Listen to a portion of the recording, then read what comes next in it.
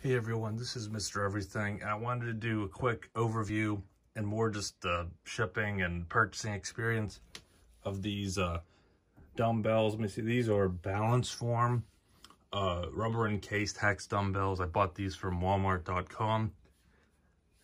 Uh, I guess it depends, like right now, the cost away, I guess it's probably more around two, uh, $2 per pound. I've never been like a big, you know, equipment guy. I just like to have a set of dumbbells in my bedroom so that way, you know, I can just catch up on General Hospital and do some curls or something, of course. But in the past, I always used, you know, these more old school design and I was trying to find something like this. And as far as I can tell, at least in a, a larger weight, you can't get these just, I don't know if that's a powder coat on there, but everything's pretty much uh, these rubber encased ones and I wanted to have a much uh, larger set instead of just getting a few incremental ones. So I went with the highest weight that I feel comfortable with, which would be a uh, 40 pounds. I went to my local Walmart and they have their dumbbells on. They had some look, I think they were the same thing, but just a different, you know, tag on them. It was $72 just for 140 pound. So when I liked the weight and the, the handle and everything, I looked uh, on Amazon. Um, they have an Amazon Basics for like $54 for 40 pounds, free shipping. But I found these on Walmart's website for $101. So that's just a little over a dollar per pound, which is pretty good. Maybe you could get a better deal if you found something used. But aside from that, when you factor in shipping a product that's this heavy, I was pretty impressed with the price. And although these BalanceFrom dumbbells from Walmart had good reviews, they look, again, exactly the same as the ones on Amazon. And the Amazon reviews, a lot of them said that uh, this black rubber coating would stain. It would turn your hands black. You bumped on your clothes. It put black marks on it. So that was the first thing I checked when I got these. And uh, referring to when I got them, I probably should touch on the packaging. And uh, I didn't think to record it at the time because who really thinks of unboxing their dumbbells.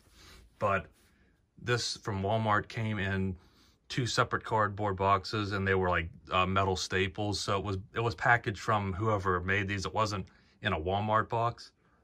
Uh, it came FedEx, which everything I buy from my location anyway comes FedEx. So that's I really preferred that. I don't think the post office can do more than 80 pounds. So they would have probably had to have shipped them individually.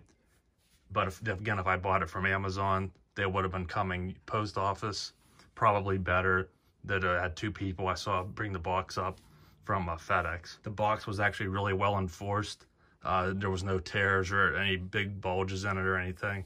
Uh, the the weights themselves had uh, a lot of styrofoam, like a flexible foam around them, and were in bags. So everything was packaged really well. I was happy with that.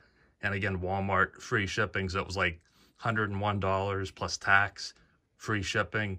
Uh, you look, go on FedEx and look how much it costs to ship 80 pounds, a ton of money. I'm sure they have some type of, you know, discount since they're always supplying or, uh, for Walmart. But uh, that when you factor in that shipping, that's really a, a good price.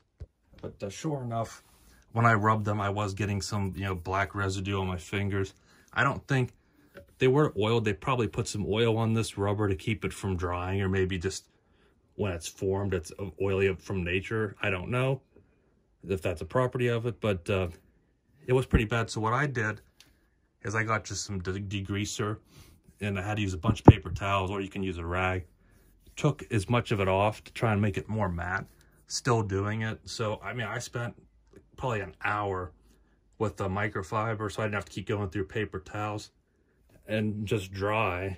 Kept rubbing it which I mean, awkward pause, but uh, you can see that they have more of a matte look now. And I went through and just tried to get until the rag quit coming up black. It took a while. Obviously, if you're in a gym or in a basement, it doesn't matter. But I'm setting these on carpet and just wearing like some indoor clothes. I didn't want to put marks in it. So I took the time to do it for these. If I bought a set or had a gym again, I'd never do that. But I just wanted to mention that's how I got it to where they really don't rub off on your hand. So maybe I got a little bit, but it's not like near what it was. And one thing I've always done in the past was put some uh, duct tape around this just for some grip. Now the ergonomics of these is just fine. I love the bolster in the middle, but the knurling was way too aggressive. It wasn't like defective or sharp, but just with that amount of weight, I could just feel it cutting into my hand a little bit too much.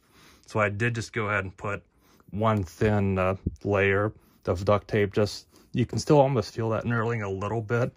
So you don't get that so much for the grip, but it made it a lot more comfortable.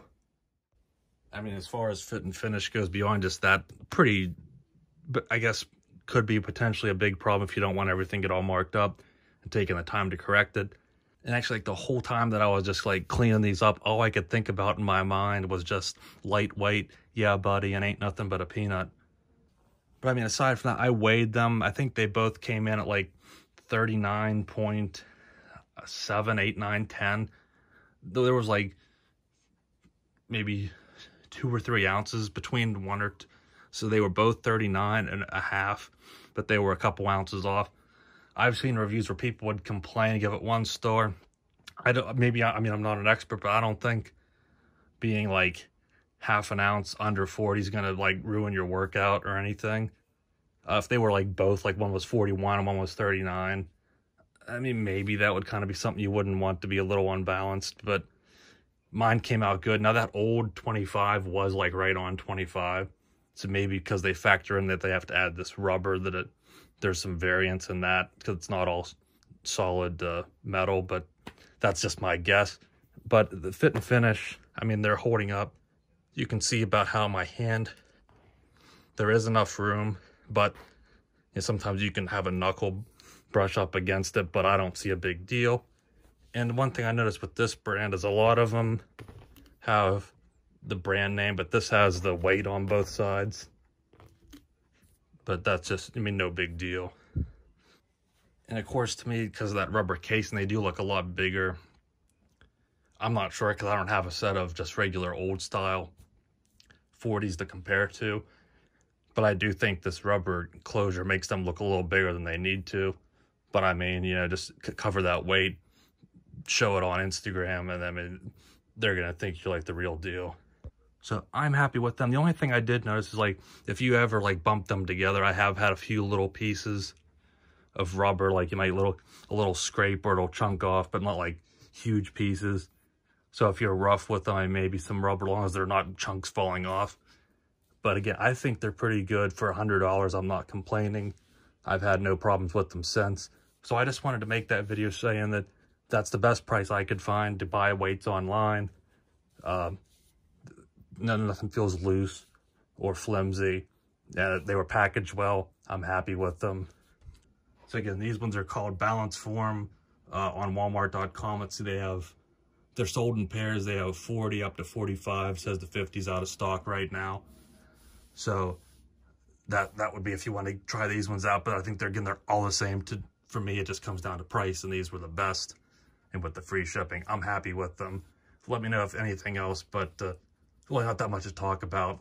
Just, just uh, shipped well, and uh, I'm happy with what I have. So thanks for watching, and I'll see me in the next one. Have a good one.